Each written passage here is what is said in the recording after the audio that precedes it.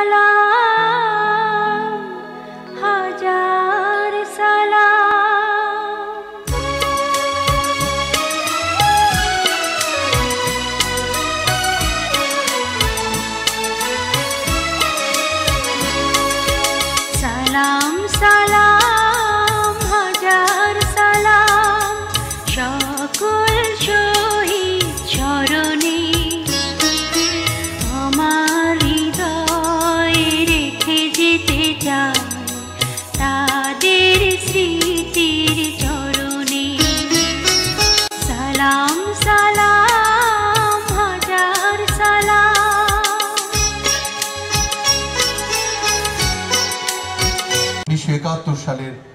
রণাঙ্গনে ছিলেন।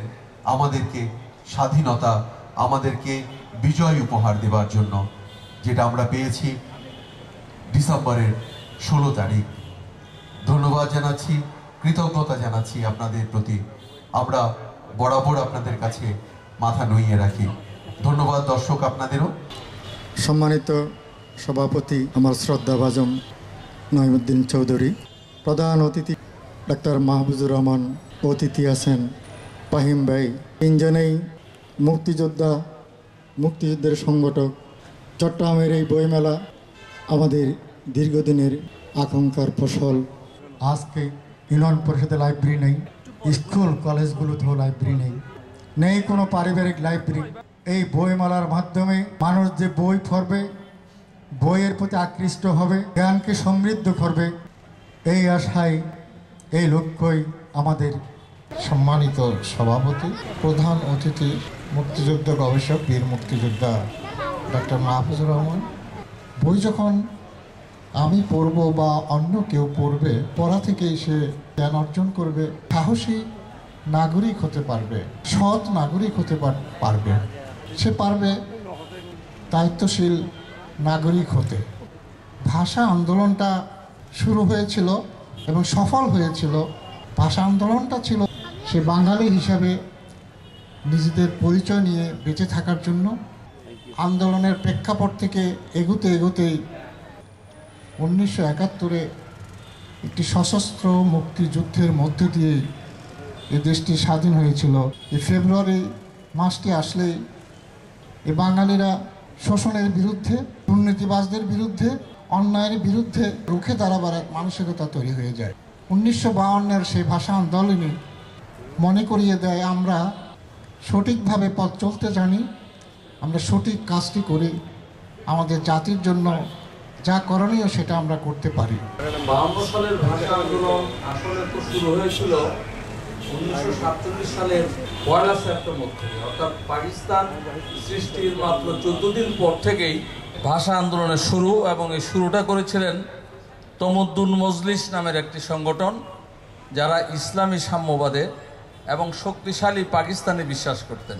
এই পনেরো দিনের ভিতর নব্যসৃষ্ট পাকিস্তানের টিকিট মানি অর্ডার ফর্ম সহ যাবতীয় কাজ যখন ইংরেজি এবং উর্দুতে শুরু করল, তখনই ইসলামের সাম্যবাদী বিশ্বাসে তমুদ্দুল মজলিস ভাষা আন্দোলনের সূচনা করেছিলেন।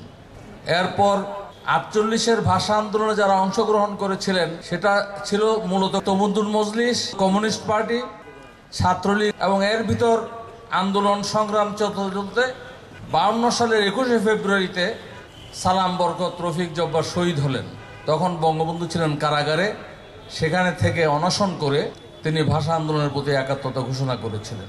এই ভাষা আন্দোলনের সূত্রটি ছিল একটি, বাংলাকে পাকিস্তানের অন্যতম রাষ্ট্রভাষা করতে হবে। এর সাথে বাঙালি জাতীয়তাবাদী আন্দোলনের ন্যূনতম সূত্র আমরা খুঁজে পাইনি। আটচল্লিশের ভাষা আন্দোলনে বঙ্গবন্ধু চেয়েছিলেন যে ভাষা আন্দোলনকে সরকার পরিবর্তনের আন্দোলনে রূপান্তরিত করতে হবে। এবং সেই জন্যই তিনি ছাত্রলীগ কর্মীদের নিয়ে এককভাবে পরিষদ ভবন ঘেরাও করেছিলেন এবং সেখানে নাজিমুদ্দিন, তৎকালীন পূর্ব পাকিস্তানের মুখ্যমন্ত্রী নাজিমুদ্দিনকে নাজেহাল করেছিলেন। এটা নিয়ে ভাষা আন্দোলনে অংশগ্রহণকারী অপরাপর দল কমিউনিস্ট পার্টি তমুদ্দুল মজলিস বঙ্গবন্ধুর তীব্র সমালোচনাও করেছিলেন। কিন্তু বাস্তব সত্য হলো, চুপ্পান্ন সালের নির্বাচনে যুক্তফ্রন্ট জিতে এবং ছাপ্পান্ন সালে গিয়ে বাংলাকে রাষ্ট্রভাষা করার একটি প্রস্তাব সংসদে গৃহীত হয়েছিল এবং একই সাথে বলা হয়েছিল যে এটার বাস্তবায়ন হবে ২০ বছর পর, অর্থাৎ ছাপ্পান্ন সালের ২০ বছর পর ছিয়াত্তর সালে। ততদিন তো বাংলাদেশ স্বাধীন হয়ে গেছে। কাজে ভাষা আন্দোলনের ভিতর বাঙালি জাতীয়তাবাদী আন্দোলন খোঁজাটা ঐতিহাসিক সত্য নয়। কিন্তু একটি বিরাট সত্য সেখানে আছে।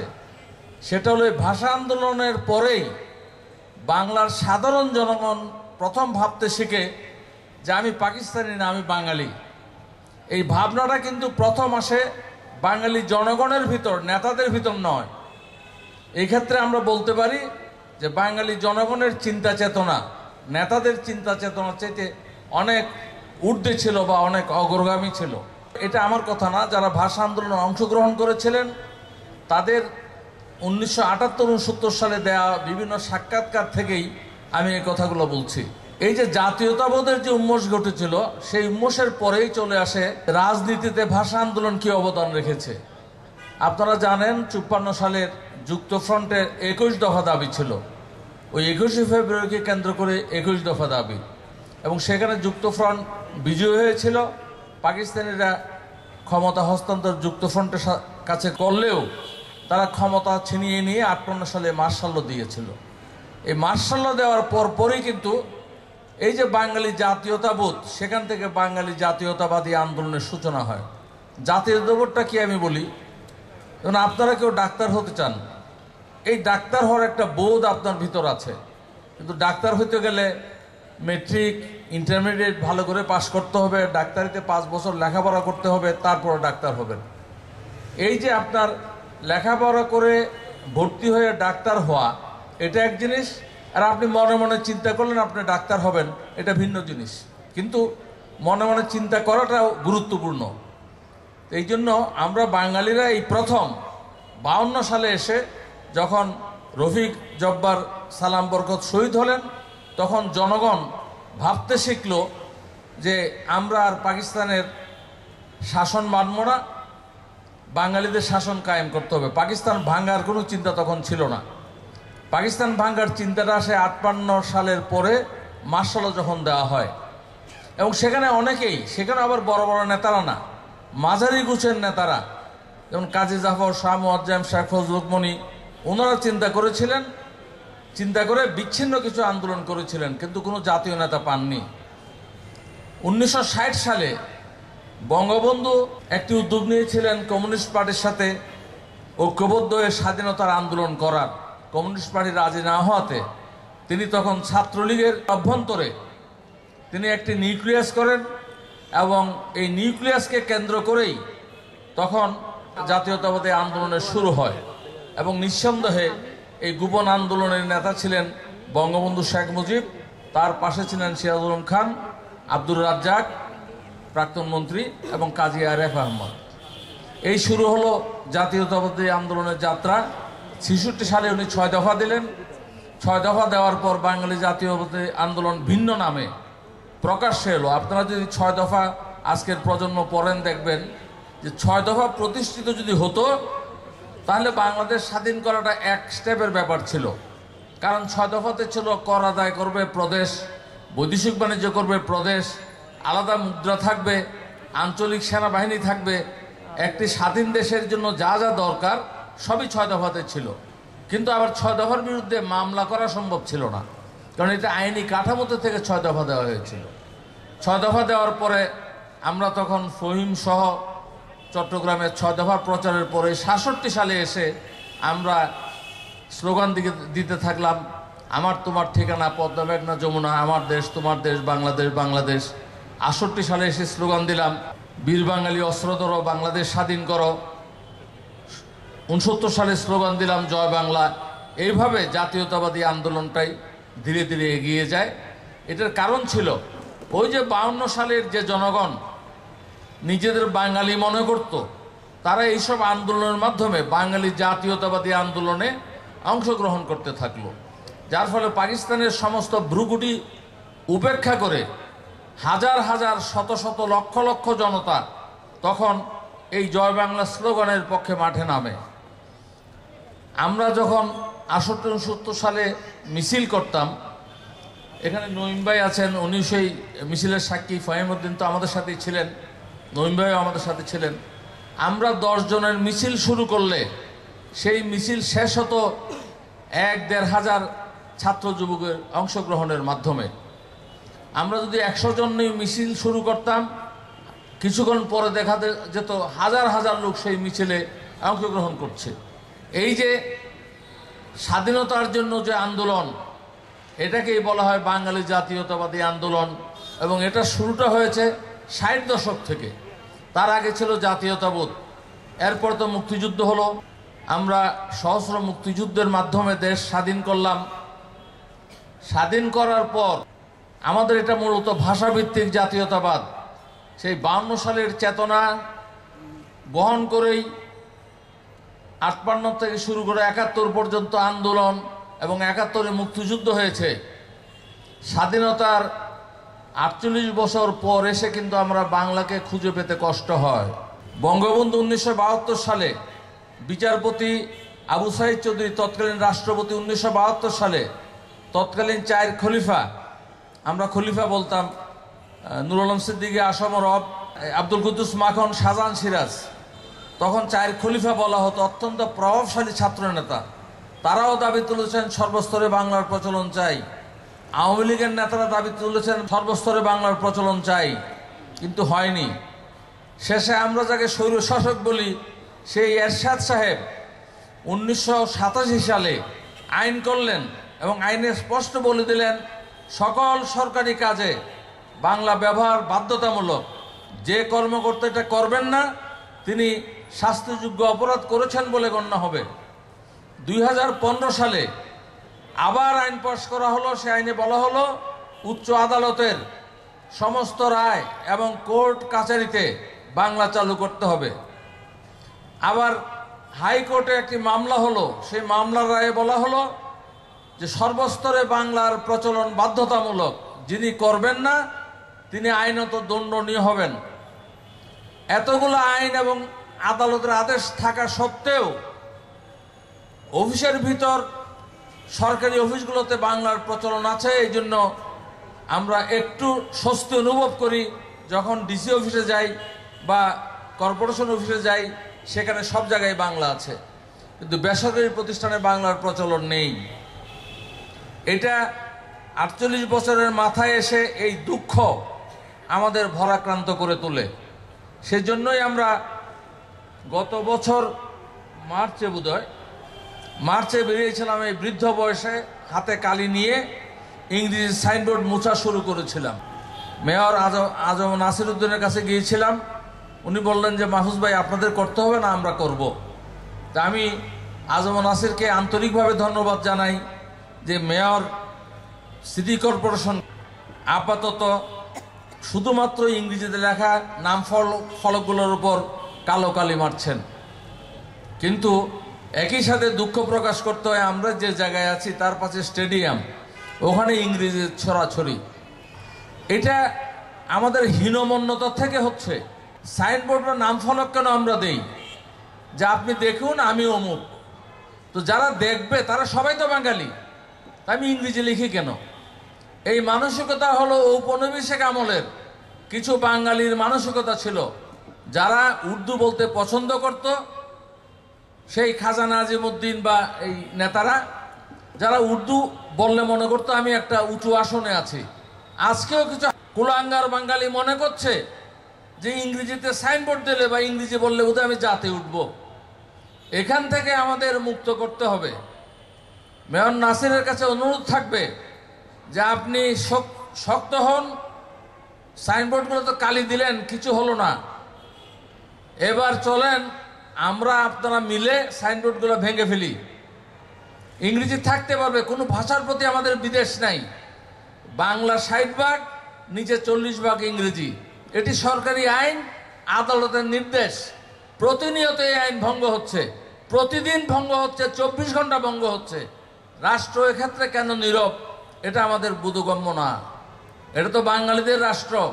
আজকে বাংলাদেশ হয়েছে বলেই আপনারা বড় বড় নাম ফলক লাগিয়ে ব্যবসা করতে পারছেন নাহলে ওগুলো সব বিহারীদের দখলে থাকতো। আজকে বাংলাদেশ হয়েছে বলেই আপনারা সচিবালয় থেকে শুরু করে পিয়ন পর্যন্ত বাঙালি হচ্ছেন। না হলে ওই পিয়ন টিয়ন কিছু বাঙালি থাকতো, বাকি সবই অবাঙালিদের হাতে যেত। সাধারণরা কৃতজ্ঞতা বোধ তো নাই আপনাদের। যে আমি বাংলাদেশ হয়েছে বলে এই ব্যবসা করেছি, বিল্ডিং করছি, অনেক কিছু করতে পারছি। আর সেই বাংলাকে অবহেলা করছেন। কাজে আমাদের সামনে, সাধারণ আম জনতার সামনে আর কোনো উপায় থাকবে না এগুলোকে ভাঙ্গা ছাড়া। আরেকটি প্রশ্ন আমাদের আছে। আপনারা জানেন যে বাংলাদেশে অসংখ্য টেলিভিশন চ্যানেল আছে। আমি গুনে দেখলাম এগারোটি চ্যানেলের নাম বাংলায় আর একুশটি চ্যানেল ইংরেজিতে নাম, তাদের যে নিবন্ধনকৃত যে নামফলক ইংরেজিতে লেখা, হৃদয়ে বাংলাদেশ ডাইনিতে লেখা, চ্যানেল আই এটা কোন বাংলাদেশ আপনি ধারণ করছেন আপনারা? এবং চ্যানেল আইতে যারা আছেন, তারা সবাই মুক্তিযুদ্ধের পক্ষের লোক। একেবারে এত নপংসক হয়ে যেতে হবে যে আপনারা চ্যানেলটার চ্যানেল আয়ের পাশে চ্যানেল আই বাংলাতে লিখতে পারলেন না। শুধু চ্যানেল না এটিএন বলেন এনটিভি বলেন আর টিভি বলেন। বৈশাখী, কত সুন্দর বাংলা নাম, তাই না? ওটাও ইংরেজিতে লেখা। এইগুলোর বিরুদ্ধে জনগণকে সুচ্চার হতে হবে। বাংলাদেশে বাংলা লেখুন। না হলে প্রতিষ্ঠান বন্ধ করে দিন। পৃথিবীর কোন আপনারা অনেকে বলবেন যে ইংরেজিতে তো আন্তর্জাতিক ভাষা। ফ্রান্সে যান, কোনো সাইনবোর্ড ইংরেজিতে পাবেন না। জাপান, জার্মান, কোরিয়া, ভিয়েতনাম সহ বিশ্বের যে কোনো উন্নত দেশেই যান, চীনে যান। সেখানে ইংরেজিও থাকে না। তাদের ভাষায় তারা নাম ফলক লেখে। তাদের ভাষায় সব কাজ করে। ওরা ইংরেজি কিন্তু আমাদের চাইতে অনেক ভালো জানে। একটা যাত্রাভিমান তাদের আছে। আমাদের সেই যাত্রাভিমানটা কেড়ে নেওয়া হচ্ছে। কাজেই এখানে যারা আছেন নতুন প্রজন্ম, আপনাদের কাছে অনুরোধ থাকবে যে বাংলাদেশকে সঠিক পথে যদি আনতে হয়, তাহলে এই কুলাঙ্গারদের বিরুদ্ধে আপনাদের দাঁড়াতে হবে। টিভি চ্যানেলগুলোকে অনুরোধ করব, অনেক তো হলো। আপনারা ইংরেজি নাম রাখেন, পাশে বাংলাটা রাখেন। তাহলে জাতি আপনাদের সম্মান করবে। আপনারা বাংলায় অসংখ্য অনুষ্ঠান করেন। বাংলা ভাষাকে সমৃদ্ধ করা, বাঁচিয়ে রাখা আপনারা রাখছেন। নামটা বদলে দেন, আমরা আপনাদের প্রতি অভিনন্দন জানাব। আর নতুন প্রজন্মের প্রতি আরেকটি আহ্বান, আমি অনেক সময় অনেক চ্যানেল দেখি, তারপর ওটা বন্ধ করে দিই। কারণ কিছু যুবক, যুবতী সেখানে যায়। ইংরেজি তো আমি নিশ্চিত যে পুরা লাইন ইংরেজি এরা বলতে পারবে না।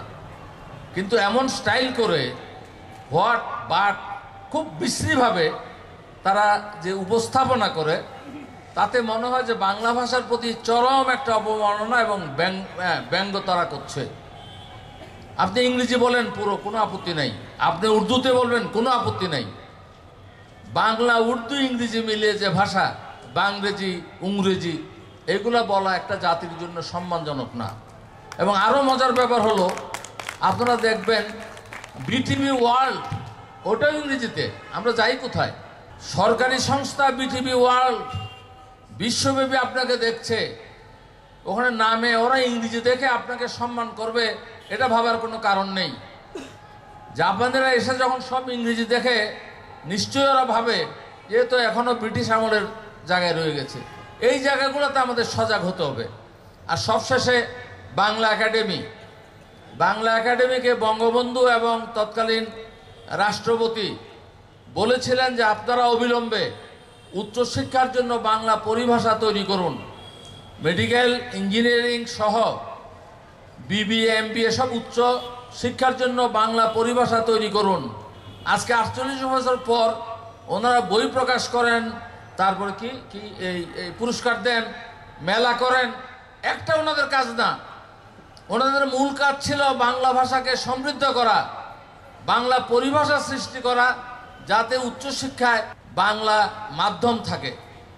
ওটি না করার কারণে আমাদের ছেলেরা ভাবছে যে উচ্চশিক্ষা যেহেতু ইংরেজি, কাজে আমরা ইংরেজিতে বেশি মনোযোগ দিই। এবং তারা তাই করছে। এখানে ছেলেদের দোষ দিয়ে তো লাভ নাই। দোষ যদি থাকে, সেটা বাংলা একাডেমির। আজকে সভা থেকে আমি অনুরোধ করব বাংলা একাডেমিকে, আপনারা মেলা এগুলা প্রকাশকদের হাতে ছেড়ে দেন। আজকের মেয়র নাসিরের উদ্যোগে প্রকাশকরা এই মেলা করছে। চট্টগ্রামের আটচল্লিশ বছরের ভিতর বৃহত্তম মেলা। তারা খুব সুন্দরভাবে করতে পারে। আপনারা আপনাদের ওই কাজে চলে যান। বাংলা পরিভাষা সৃষ্টি করুন। যাতে করে আমাদের প্রজন্ম বাংলায় সর্বোচ্চ শিক্ষা নিতে পারে। ইংরেজি জানা আবশ্যক আপনাকে কে বলছে? মুস্তাফিজ তো ইংরেজি জানে না। যেহেতু ভালো খেলা জানে, আপনারা লক্ষ্য করেছেন, বিশ্বের বিভিন্ন দশ- দেশ থেকে কোচরা এসে বাংলা শিখছে মুস্তাফিজের সাথে কথা বলার জন্য। আপনার যদি জ্ঞান থাকে, সেই জ্ঞান পৃথিবীর বিভিন্ন জায়গা থেকে এসে আপনার ভাষায় নিয়ে যাবে। এটাই প্রতিষ্ঠিত সত্য। আমি আগেই বলেছি, বিশ্বের কোনো উন্নত দেশে তাদের মাতৃভাষা ছাড়া উচ্চশিক্ষা হয় না। আপনারা যারা বিদেশে গেছেন, আলাপ করে দেখবেন, আমি অনেকের সাথে আলাপ করেছি। এমনকি উচ্চশিক্ষার জন্য যে বাঙালিরা বিদেশ যায়, সুইডেনে গেলে আগে সুইডিশ ভাষা শিখে, সুইডিশ বুধ স্পেনিশ ভাষা হবে, শিখে তারপর ক্লাসে যেতে হয়। ফ্রান্সে গেলে ফ্রান্সের ভাষা শিখে ক্লাস করতে হয়, তার আগে ক্লাস করতে দেয় না। কাজে আজকের প্রজন্মকে অনুরোধ করব যে আমরা তো বুড়ো হয়ে গেছি, এক পা কবরে, এক পা বাইরে। যারা মুক্তিযোদ্ধা আছেন, পাঁচ বছরের ভিতর মুক্তিযোদ্ধা আর কজন পাবেন, আমার সন্দেহ আছে।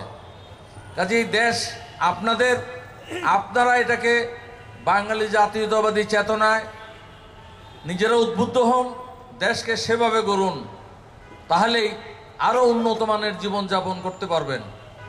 ইংরেজি শিক্ষায় শিক্ষিত হয়ে জনগণ থেকে বিচ্ছিন্ন হবেন, হয়ে ক্রমে জঙ্গিবাদের দিকে ঝুঁকবেন। আপনি যখন গ্রামে ইংরেজি বলতে যাবেন, ওখানে কিল চটথাপ্পর খাওয়ার সম্ভাবনা থাকবে। কাজেই বাংলা শিখুন, বাংলাকে সর্বোচ্চ শিক্ষার মাধ্যম হিসেবে আনুন, তাহলে বাউন্ন সালের আত্মত্যাগ, একাত্তরের শহীদের আত্মত্যাগ, এগুলো সফল হবে এবং একটা আধুনিক, উন্নত, সমস্ত মানুষের সমান অধিকার সম্পন্ন একটি বাংলাদেশ আপনারা তৈরি করতে পারবেন। এই বলে এবং সবশেষে আজম নাসিরকে এই মেলার উদ্যোগ এবং সফল উদ্যোগ নেওয়ার জন্য এবং বাংলা প্রচলনের তার যে উদ্যোগ সেটার জন্য তাকে ধন্যবাদ জানাই এবং আগামী বেশ কিছুদিনের ভিতর যাতে চট্টগ্রাম শহর বাংলা শহরে পরিণত হতে পারে সেই উদ্যোগ নেওয়ার আহ্বান জানিয়ে আপনাদের ধন্যবাদ জানিয়ে আমার বক্তব্য শেষ জয় বাংলা। আমরা ভাষা আন্দোলন করেছি, চুয়ান্ন সালে যুক্তফ্রন্ট নির্বাচন করেছি, আটান্ন সালে সামরিক শাসন বিরোধী আন্দোলন করেছি, ছষট্টি সালে ছয় দফা আন্দোলন করেছি আটষট্টি উনসত্তর সালের গণ আন্দোলন করেছি, সত্তর সালে নির্বাচন করেছি। একটা উদ্দেশ্যই আমাদের সামনে ছিল, আমরা বাঙালি। এই বাঙালির আত্মপরিচয়কে সুপ্রতিষ্ঠিত করাই ছিল আমাদের মূল লক্ষ্য। এই লক্ষ্যকে প্রতিষ্ঠা করার জন্যই আমরা মুক্তিযুদ্ধের মতো একটা ভয়ানক কর্মকাণ্ডে অংশগ্রহণ করতে হয়েছে। পাকিস্তান সৃষ্টি হলো পাকিস্তানিরা অর্থাৎ পশ্চিম পাকিস্তানি নেতারা জিন্না সাহেব থেকে শুরু করে যারাই সেদিন পাকিস্তান শাসন করেছিলেন, তারা আমাদের ভাষাকে ধ্বংস করে আমাদের জাতিসত্তাকে নস্বাত করে যাওয়ার জন্য চেষ্টা চালিয়েছিলেন। সেই সময় গাজীউল হক, বঙ্গবন্ধু, ভাষা সৈনিক মতিন অলিয়াহাত দিল্লুর রহমান, ধীরেন্দ্রনাথ, আব্দুর রশিদ তর্কবাগিস এরা অনেকেই বাংলাকে প্রতিষ্ঠা করার জন্য প্রয়াস চালিয়েছিলেন। বাউন্ন সালে একুশে ফেব্রুয়ারি সালাম জব্বার রফিক আত্মহতি দিয়েছেন। আমরা বাঙালিরা রক্ত দিয়েছি আমাদের ভাষাকে প্রতিষ্ঠা করার জন্য। এই যদি আমরা ভাষা আন্দোলন না হতো, আমরা যুক্ত ফ্রন্ট নির্বাচনে নিরঙ্কুশ ভোট পেতাম না। যদি ভাষা আন্দোলন না হতো, আটান্ন সালে আমরা সামরিক শাসন বিরোধী আন্দোলন করার মতো সৎ সাহস পেতাম না। আমরা ছষট্টির ছয় দফা আন্দোলন করতে পারতাম না, এই ছয় দফা দেওয়া হতো না। ছয় দফাকে আমরা আমাদের স্বাধীনতার মাইল ফলক হিসাবে চিহ্নিত করি। এটা ম্যাগনা কার্টার হিসাবে আমরা ঘোষণা করি। যে এই জন্যই আমরা একুশে ফেব্রুয়ারিকে বলি শহীদ মিনারে দাঁড়িয়ে বলি যে এই শহীদ দিবস হচ্ছে মাথা নত না করা। শহীদ দিবস আমরা পালন করতে গিয়ে আমরা অন্যায়, অবিচার, অসত্যের বিরুদ্ধে নিজকে দাঁড়ানোর জন্য একটা প্রয়াস চালিয়ে যায়। স্বাধীনতা আগে থেকে আমরা বাংলা প্রচলনের জন্য আমরা একুশে ফেব্রুয়ারিতে রাস্তা আলপনা আঁকতাম, আমরা শহীদ মিনারে পুষ্পস্তর দিতাম, আমরা জনগণকে আমরা ইংরেজি সাইনবোর্ডগুলোতে মুছে দিয়ে সেখানে আমরা বাংলায় লেখার চেষ্টা করতাম। অনেক সময় পুলিশের সাথে, সরকারের সাথে আমাদের বিরোধিতা হতো এবং আমাদেরকে প্রতিরোধের সম্মুখীন হতে হতো। স্বাধীন হওয়ার পর আমাদের নেতা বঙ্গবন্ধু শেখ মুজিবুর রহমান, আমি স্বাধীনতার বিস্তারিত বর্ণনা না গিয়ে বলতে পারি যে বঙ্গবন্ধু শেখ মুজিবুর রহমানের নেতৃত্বে দেশ স্বাধীন হওয়ার পর বাংলাকে সর্বস্তরে প্রচলনের জন্য তিনি পদক্ষেপ নিয়েছিলেন। তিনি সরকারি নির্দেশ দিয়েছিলেন সর্বস্ত্র বাংলা ভাষা চালু করার জন্য।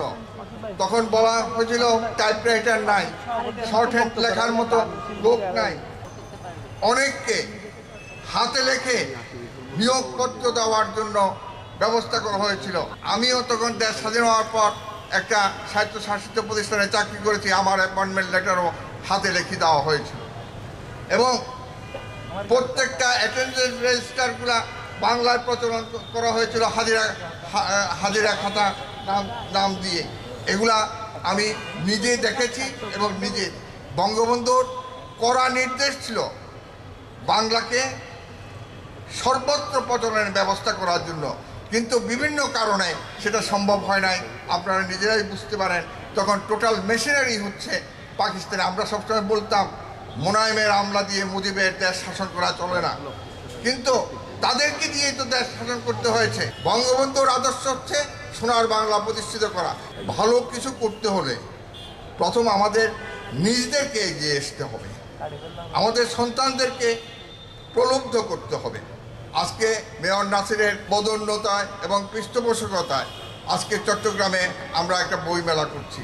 এই বইমেলা চট্টগ্রামের বইমেলার ইতিহাসে একটি মাইল ফলক হিসাবে থাকবে বলে আমি মনে করি জামাল ভাইও এটা আলোচনায় আমরা বলেছি।